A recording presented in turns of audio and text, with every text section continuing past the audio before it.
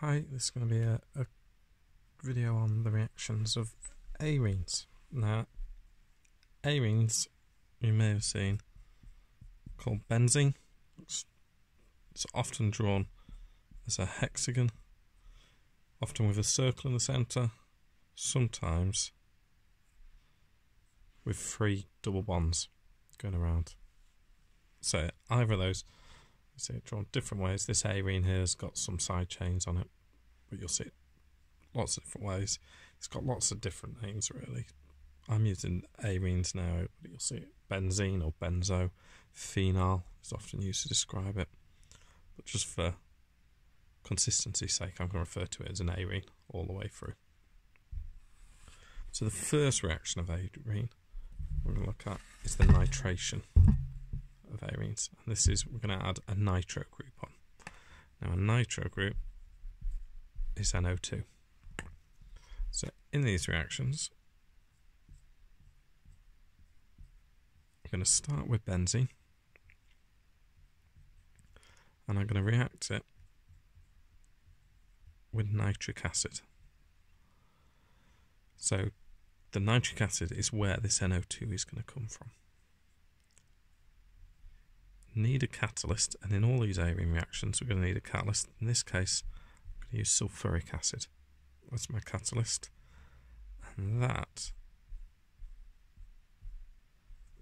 is going to add this nitro group on. Let's get my nitro added on. Now, see the NO2 there? We've lost from here to get the NO2 a hydrogen and one oxygen. So it gives me H and O. And this nitro group's going onto the benzene here.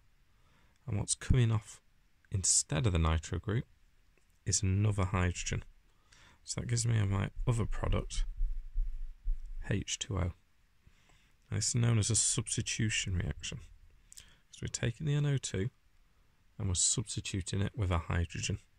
So here is, we don't draw them on in the skeletal version, but there's a hydrogen just there. That's getting swapped with a nitrogen hydrogen's going into the leftover hydrogen and oxygen to form H2O. Now this can be done with any arene, this reaction.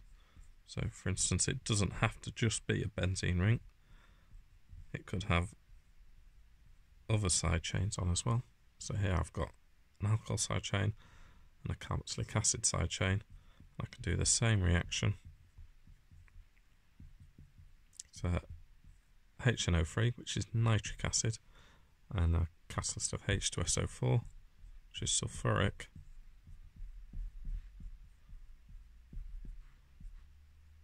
will form NO2 as well.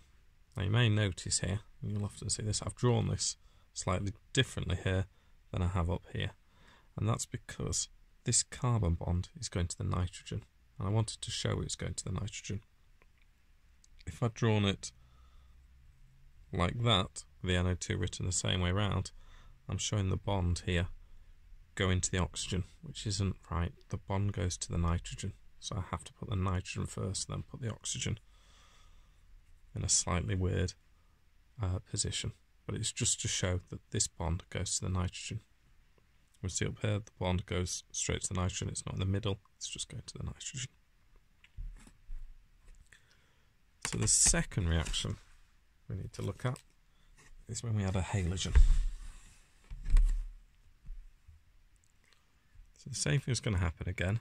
Take my arene. This time, we have? Let's take uh, a methyl uh, arene. So I've just got a methyl side chain on there.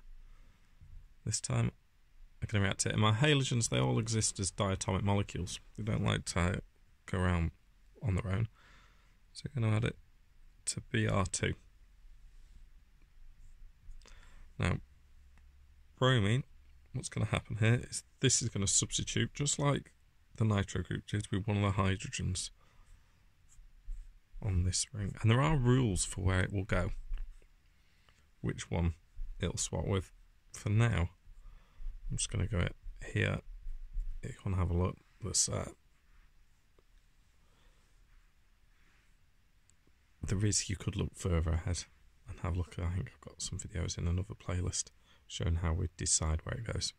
Not really that necessary. It can go to any position.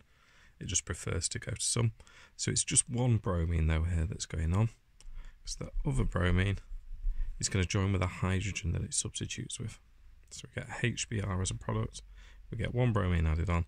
And the catalyst we use to make this happen, we can use a few actually. We could use FeBr3, AlBr3, or we could use just iron by itself. So any one of those three catalysts will make this reaction occur or help this reaction occur. They are the two reactions you need to know. You need to remember the catalysts. Often asked about in tests and exams, what catalyst would you use? So for a nitration, sulfuric acid. For halogenation, it's any one of these.